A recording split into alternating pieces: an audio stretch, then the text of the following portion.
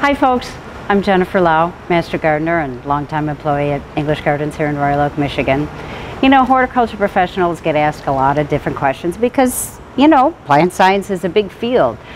But there are some topics that repeatedly come up over the years. One of them is how do I repot my house plant? So let's take a couple minutes and demonstrate step by step so you feel confident doing this yourself.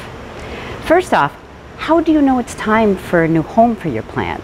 Well, there are several ways to tell you, but let's keep it general.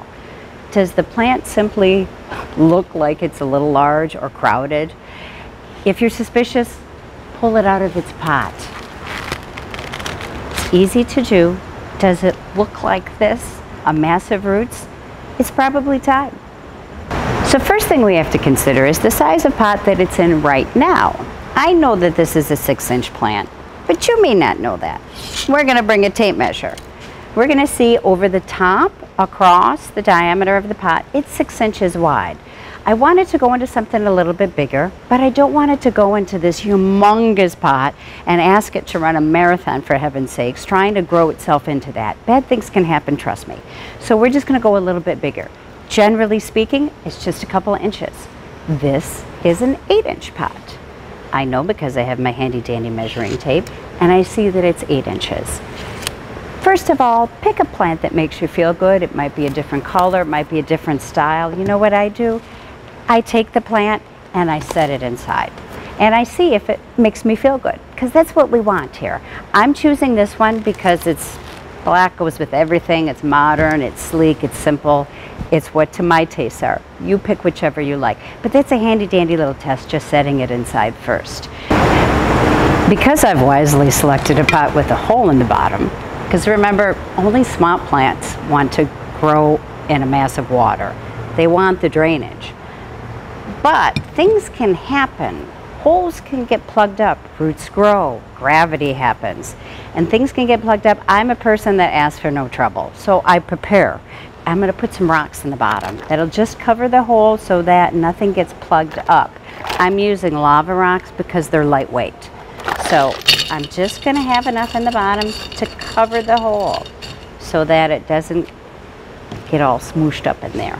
And next I'm going to place the plant inside. I'm going to see how it looks. Now of course it's a little tippy at the moment, but there it is straight. It looks good. It's good level. I'm going to take it out. I'm going to add a little fresh soil. I'm not going to fill it up all the way yet.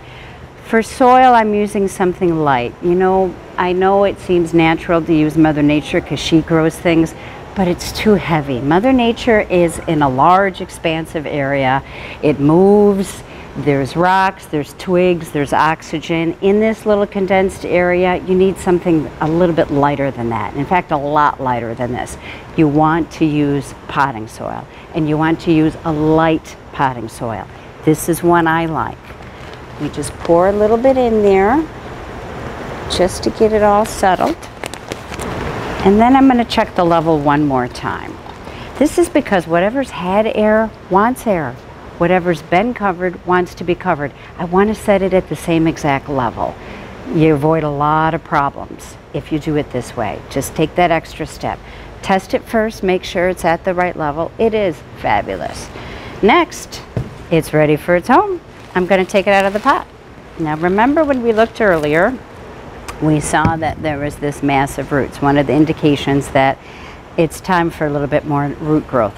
Whenever you plant anything, I want to loosen this up a little bit. You can do this with your hands like this. It moves easy enough.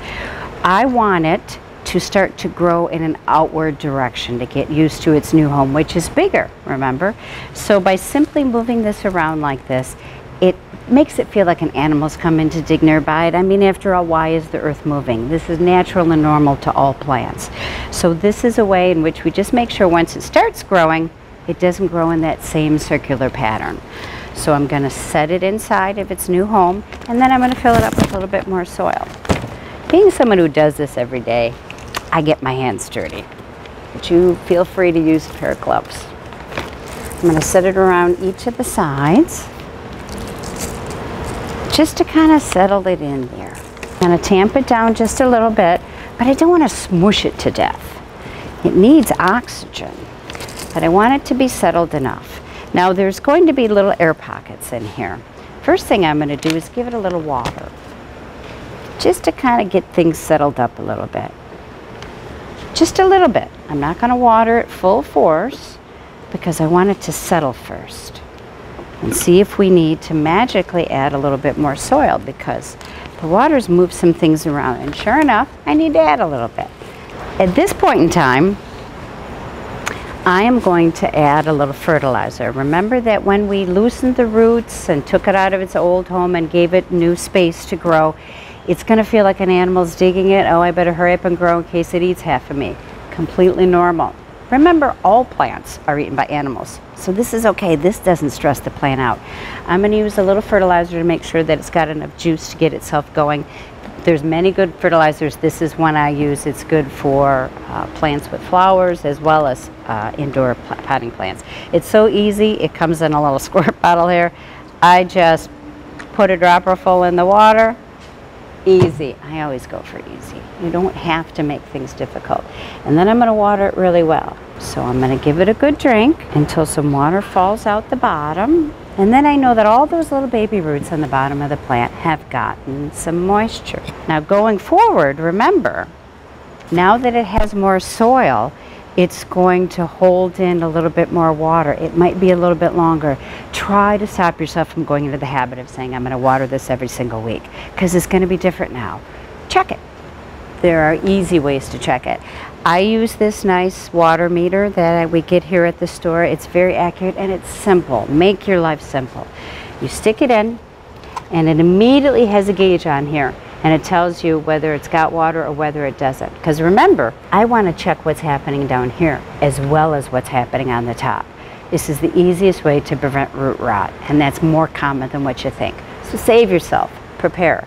So if you don't happen to have one of these and you need to test, you know what a quick, easy, easy check is use a pencil, number two pencil, not a mechanical pencil because I want this wood on here. Cedar wood is very sensitive to water. That's most often what these are made out of. So it's the same process. I'm going to stick it in halfway into the pot. Notice the color of the pencil? If I stick it in halfway into the pot and bring it back up again, look how the wood is darkened. That means there's water down there. Don't touch it. Follow the pencil. It's right every time. Now this wasn't as hard as what you thought, was it? You can do this. If you live in the area, stop by any time. We'll be here to help you. Make life beautiful. We'll see you in the store.